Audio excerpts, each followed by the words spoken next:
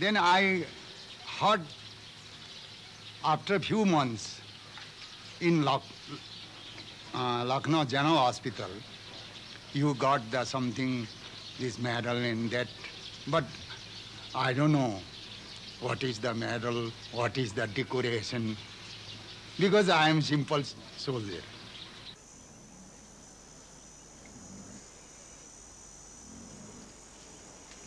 Ganju's mother died when he was small. He had to work hard on the farm, helping to cultivate the fields and caring for the animals.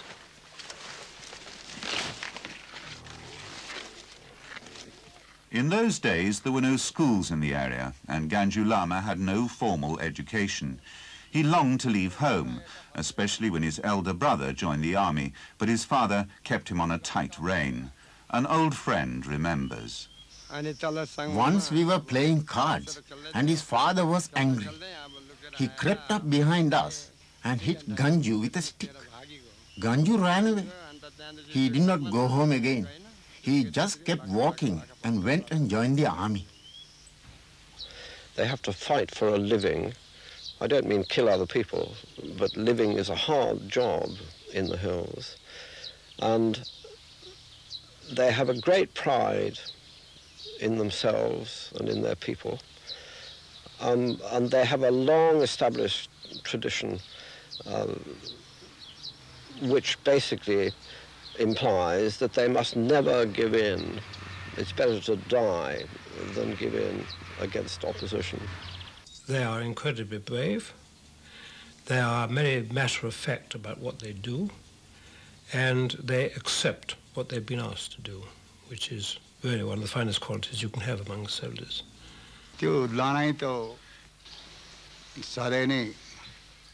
In the war, it was always seeing the bullets, hearing the sound of the bullets. We just followed what the more experienced men did, what the leaders did.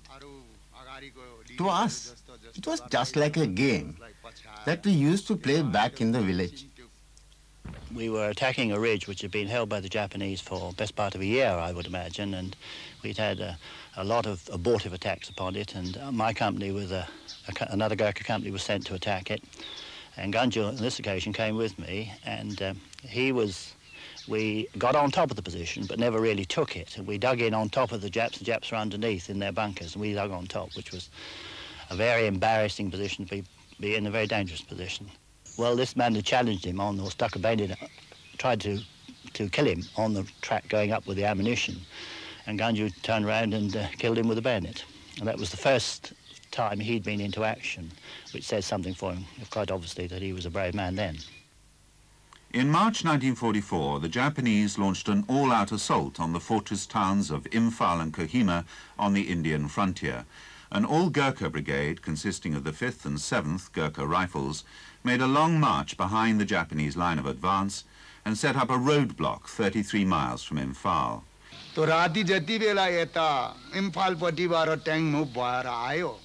At night, tanks came from the direction of Imphal. When the first one reached the entrance to the bridge, I fired and it blew up. A moment later, another tank arrived and I fired at it. The first tank was blown to pieces and the other tank was also knocked out in the same place.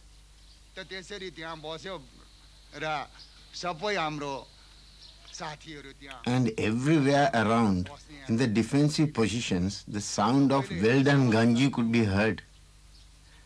But I stayed where I was, and all the other companies and platoons stayed in their positions. Um, the same thing happened the next night. Uh, one or two tanks appeared, and this time they attacked in force uh, on that particular company perimeter. And we brought down everything we could on them in the way of artillery fire from the brigade headquarters and from our own position. Under pressure from overwhelming forces, the 5th and 7th Gurkhas eventually withdrew along the line of the road to the town of Ningthoukhong. The Japanese attacked with tanks across the stream which separated the opposing forces and quickly overwhelmed the forward Gurkha positions. And they, they attacked down the track, um, pushing in the my right-hand platoon and D companies, as far as I know, the left platoon, there may be a bit more. Um, behind us, battalion headquarters, we'd got one, we had two anti-tank guns, which I believe one was knocked out by the Japs. And battalion headquarters, I'm not quite sure who, got the other one into action. They knocked out the leading Jap tank, and I think they knocked out the one behind it. And the others behind, there may have been a total of five tanks, I'm not sure, tried to get round the two leading tanks being knocked out, and they got bogged down in the, well, by the stream uh, they'd just crossed. And although they couldn't move, they were still fairly active in firing their guns. The 7th Gurkhas then counterattacked, but B Company were halted by the Japanese tanks and Ganju Lama was called forward. I was the number one on the Piat gun and I had another soldier as my assistant. Because of the tanks firing and other individuals firing, my assistant was wounded. Despite his being a casualty, I went forward on my own with my Piat gun. I could hear tanks, but I couldn't see them. So I crawled forward until I saw one coming and fired at the first tank and destroyed it. A few moments later, another tank arrived and I fired at it and like that, having come forward, I had destroyed two tanks. Well, then, of course, the battle noises rose to a crescendo. Shells were flying all over the place, and, and uh, uh, small arms fire all over the place. And suddenly, without any warning, it all died out. And there was a, a sort of deadly whoosh, except for perhaps uh, the odd desultory bit of firing here and there. And uh, then Morris went on to say, I think we should recommend him for a, a bar to the MM. I said, nonsense, this is a VC matter, nothing less than a VC. So we sat down and we uh, produced a citation. And I tried in this citation to highlight the balance of the battle being on the uh, work of one man and one man only. For he was really the man of the moment, and that was Ganju Lama. Were you proud? That time I uh, not proud, I am happy what happened this. And your father, was he, he proud of you? Yeah, my father is uh, also, he, I think, uh, happy. I, I don't believe they understood the Victoria Cross. I think they were just naturally courageous.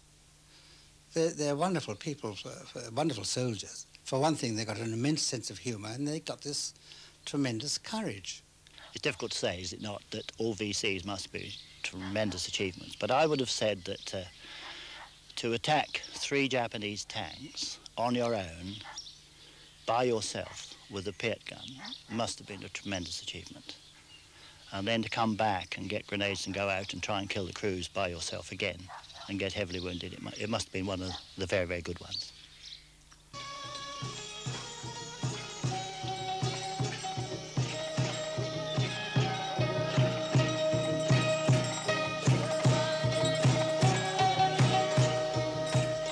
Back in his native village, he took up once again the life of a farmer and built a big new house overlooking his home valley. He also returned to the religion of his fathers.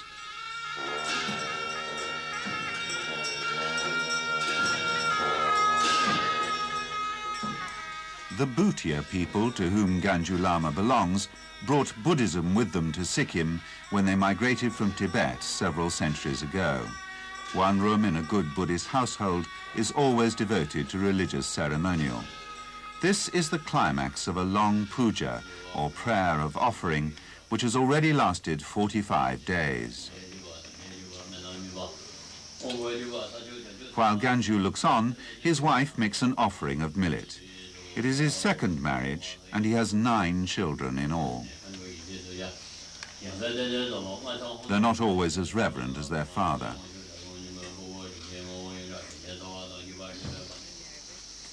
The chief crop on Ganju's farm is the spice cardamom, the seed of a shrub which flourishes in groves of shade trees high in the hills of Sikkim.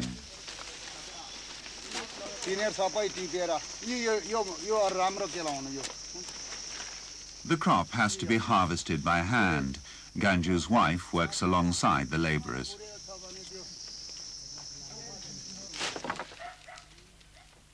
Baskets full of pods are then dried in special ovens before the seed case containing the spice are extracted by hand.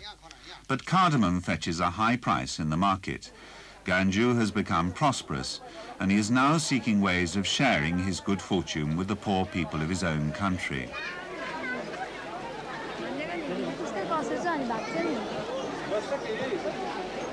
He is especially concerned about the children.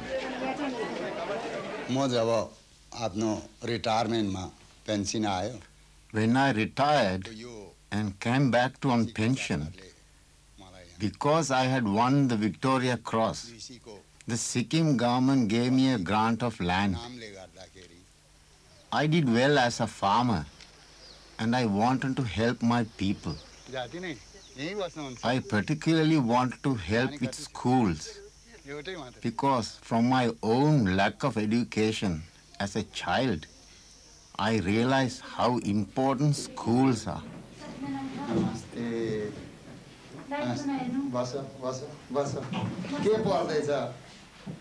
Ganju has founded two schools in his own village and provides most of the funds for the children's education. The brightest of them may go on to a government secondary school.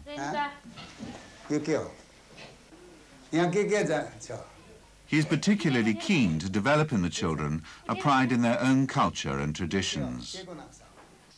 He tells us that how should we be very courageous and self-confidence and the self-respect and how can we show these kind of qualities to other uh, people.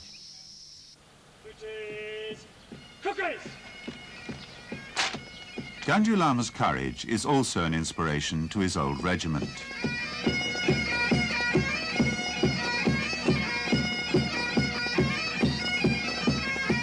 The men of the 7th Gurkhas, now in Hong Kong, still take a pride in his Victoria Cross. Well, every recruit on leaving the training depot and joining the battalion is given a thorough briefing on uh, Ganju Lama, his action, and the award of his VC. And in addition to that, uh, every year to commemorate the day of his action, the 12th of June 1944, every year on the 12th of June we publish in battalion routine orders the, cita the citation itself. The medal given to me by the government is a very great honor. That medal was awarded to me for fulfilling my duty as a soldier in the war. The medal was for me alone, but the hardship and the danger was shared by many, and without the help and support of others, it would not have been possible.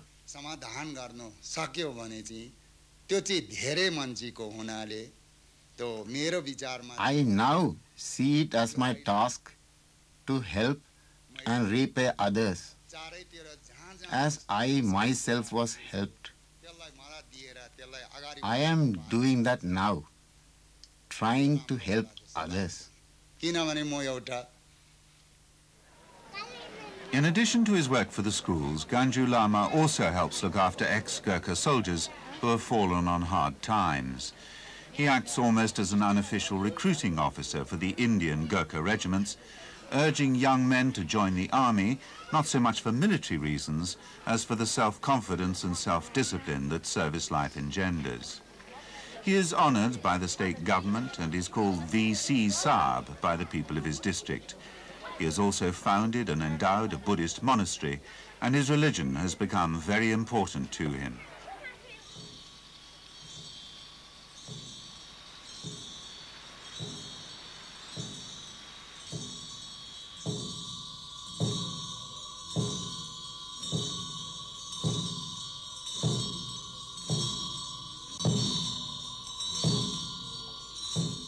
Buddhism is a religion of peace. All life is sacred, human life most of all. Is there a need for atonement in Ganju Lama's declining years, or does he see no conflict between his aggression as a soldier and his religious devotion? It is a very difficult question. It is all very well to live in peace, but if an enemy threatens to take over your country, and force you to live as captive subjects, it is not wrong to be a soldier. I believe in peace, but if my country is threatened, I will fight. I will do the same thing again. My spirit is stronger now than it was before.